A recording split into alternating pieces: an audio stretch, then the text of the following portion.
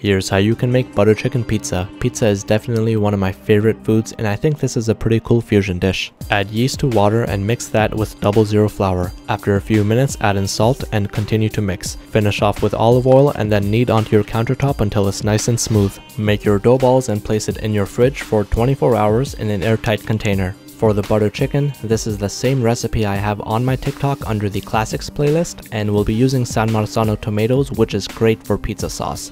So this is a win-win.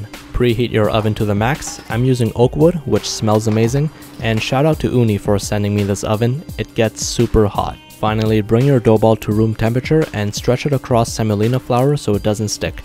For the pizza sauce, we'll be using the same butter chicken sauce we just made while adding on pieces of chicken, fresh mozzarella, and gorgonzola. Slide it in your oven. For me, this cooked in about a minute. Garnish it with cilantro, and that's it. Enjoy.